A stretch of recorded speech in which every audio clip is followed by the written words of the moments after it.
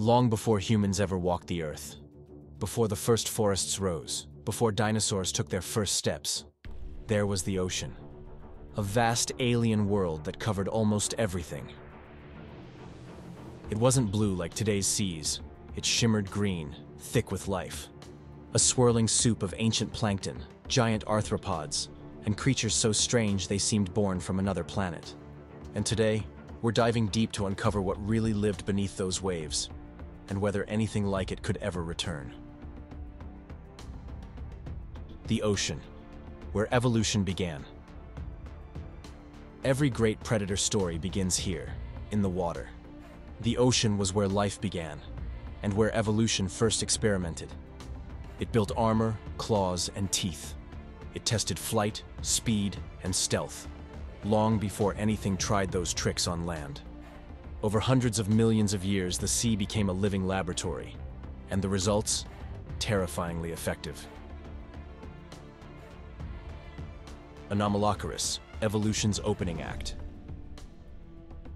In the Cambrian Seas, 500 million years ago, creatures like Anomalocaris hunted with spinning jaws and razor-edged limbs, the planet's first apex predator. It grew over a meter long, small by modern standards, but in a world of tiny, soft-bodied animals, it was a superweapon. Evolution's opening act. The rise of the sea titans. Fast forward a few hundred million years.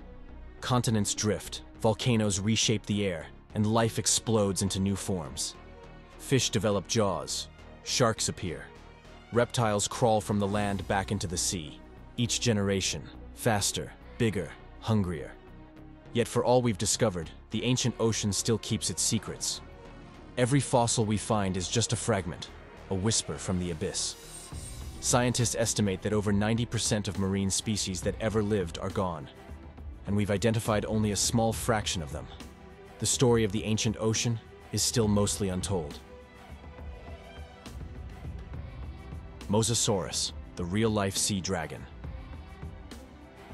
82 million years ago, while dinosaurs thundered across the land, an even deadlier predator ruled the seas. Its body stretched over 50 feet long, as long as a semi-truck. Its skull alone was nearly the size of a grown man. And its bite? Strong enough to crush bone, pierce shell, and tear prey in half. Despite its fearsome size, the Mosasaurus wasn't a dinosaur. It was a marine reptile, a distant relative of monitor lizards and snakes. Think of a Komodo dragon, stretched, streamlined, and built for the kill. Its body was hydrodynamic perfection. A crescent-shaped tail fin gave it shark-like speed, while paddle-like limbs let it twist, roll, and strike with deadly precision. But its true weapon was its mouth. Double rows of backward curved teeth made escape impossible. Even the throat had teeth, dragging prey down like a living conveyor. With eyes adapted for light and shadow, and nostrils set high on its head, Mosasaurus could stalk near the surface, breathing unseen, waiting for the perfect moment to strike. Some evidence even suggests they hunted in packs, like killer whales today. Liopleurodon, the Jurassic super predator. Before the Mosasaurus, another giant ruled the Jurassic seas, Liopleurodon, a predator so powerful, scientists call it one of the most efficient hunters to ever live. It swam through Europe's Jurassic waters 160 million years ago. Its skull was longer than a man is tall. Its bite could crush through a giant turtle's shell like paper. Liopleurodon was a pliosaur, a cousin of the long-necked plesiosaurs, but built for brute force, not grace. A short neck, massive jaws, and teeth like kitchen knives. A missile-shaped body of solid muscle. Each flipper was the size of a human, propelling it through the water like wings.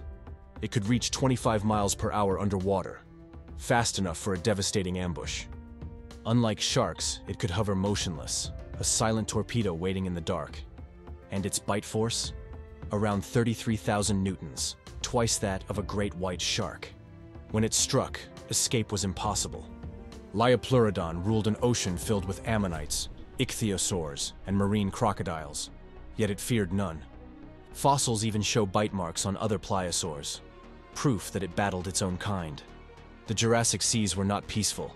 They were an arms race, a war of evolution. Megalodon, the last great sea monster. Long after the dinosaurs vanished, a new ruler claimed the oceans.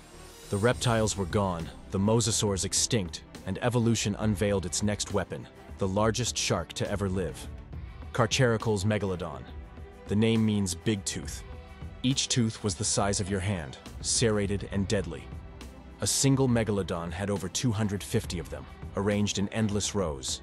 It was over 60 feet long, weighing up to 60 tons, longer than a school bus, heavier than a tank. Its bite force? 180,000 newtons, enough to crush a car flat. It didn't just attack, it strategized. Fossil evidence suggests it bit off fins first to immobilize whales before finishing the kill. A cold, tactical predator, not just a brute. Megalodon ruled from 23 to 3.6 million years ago, during a golden age of marine life. Warm seas teemed with whales, giant sea turtles, and seals, the perfect hunting grounds. Its teeth, scattered across ancient seabeds, are all that remain. Shark's gold, relics of an empire that spanned the globe. The largest tooth ever found measures over 7 inches long, nearly triple a great white's. From those fossils, we've reconstructed its size, diet, and even the scars it left on whale bones. Not just a bigger shark.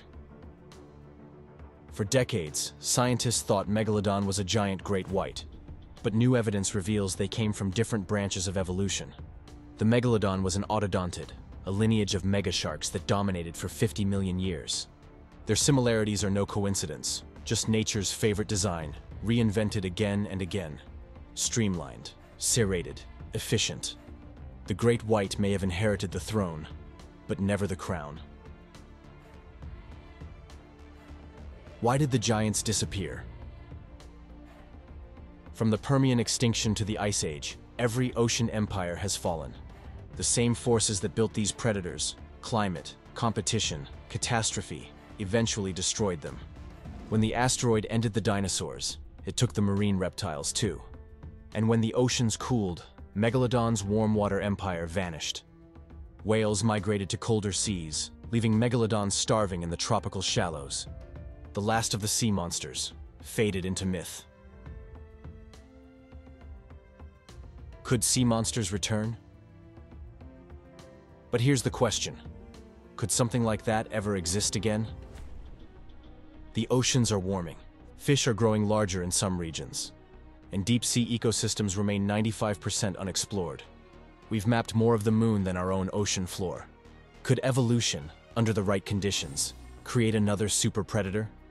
Maybe not a megalodon, but something new. Some scientists think climate change could trigger marine gigantism again, just like it did in the past. And if that happens, the next sea monster might not come from fossils. It might evolve right beneath us. the future of the deep. With modern gene editing, we talk about reviving mammoths. But what about creatures of the deep? A cloned megalodon or mosasaurus sounds thrilling, but it would also rewrite entire ecosystems. Could we control it? Or would the ocean, once again, belong to monsters? Throughout Earth's history, the seas have always been a cradle of giants. From ammonites to mosasaurs to megalodon, each age had its apex predator, until it didn't. And maybe that's how it should be. Because if nature has taught us anything, it's that monsters never really die. They just wait, beneath the waves.